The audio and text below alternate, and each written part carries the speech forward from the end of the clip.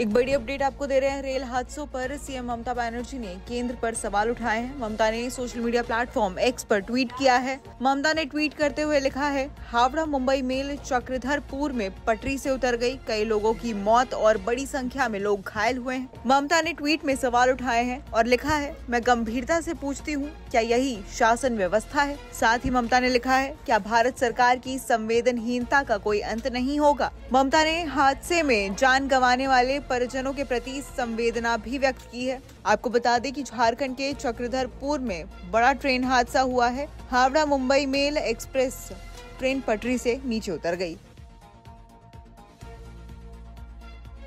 एक बड़ी अपडेट आपको दे रहे हैं, रेल हादसों पर सीएम ममता बनर्जी ने केंद्र पर सवाल उठाए हैं। ममता ने सोशल मीडिया प्लेटफॉर्म एक्स पर ट्वीट किया है। ममता ने ट्वीट करते हुए लिखा है हावड़ा मुंबई मेल चक्रधरपुर में पटरी से उतर गई। कई लोगों की मौत और बड़ी संख्या में लोग घायल हुए हैं। ममता ने ट्वीट में सवाल उठाए हैं और लिखा है, मैं गंभीरता से पूछती हूँ, क्या यही शासन व्यवस्था है? साथ ही ममता ने लिखा है, क्या भारत सरकार की संवेदनहीनता का कोई अंत नहीं होगा? ममता ने हादसे में जान गंवाने वाले परिजनों के प्रति संवेदना भी व्यक्त की है। आपको बता दें कि झारखंड के चक्रधरपुर में बड़ा ट्रेन हादसा हुआ है। Howrah Mumbai Mail Express train पटरी से नीचे उतर गई।